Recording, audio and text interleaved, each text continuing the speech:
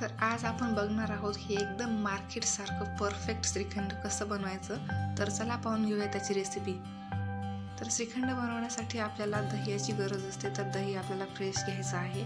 आणि ह्या दह्यातलं आपल्याला पूर्ण पाणी काढून टाकायचं आहे एखाद्या कापडाच्या मदतीनं. एका कापडामध्ये हे दही आपल्याला टाकून घ्यायचं आहे आणि रात्रभर याला लटकवत ठेवायचं आहे. बारा तासानंतर या दह्यामधलं पूर्ण पाणी निघून गेल्यानंतर हे दही एकदम टाईट असं बनेल.